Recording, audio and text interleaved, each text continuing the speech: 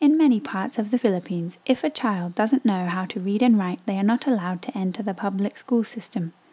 Many poor parents are illiterate, and so it is very difficult for them to prepare their children for schools. When a pastor applies for an ICM kindergarten, he finds two teachers who want to help their community. He uses a survey to find the 30 neediest children in his community. These children are taught a curriculum in maths, science, English, and Filipino for 10 months to prepare them for grade 1.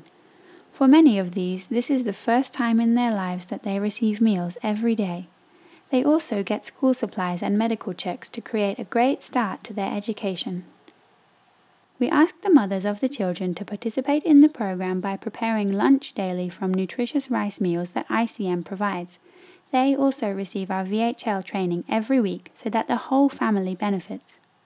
The kindergartens are staffed by locals who are paid local wages, and the kindergartens don't pay rent as they meet in church buildings that would otherwise remain empty all week. The total cost of running a kindergarten every day for 10 months for 30 children is only $6,000. That includes all the teachers and curricula, and one third of that money is used to buy the food for the hungry children. Every year in March, the pupils gather for a graduation ceremony.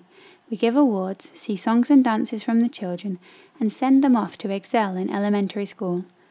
Last year alone, we graduated about 2,000 preschoolers. But we don't leave the children there.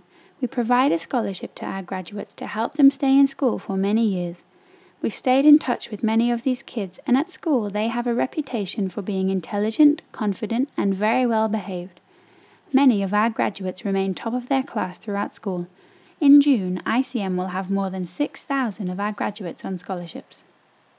The longer a child stays in school, the lower their chance of living their lives in poverty.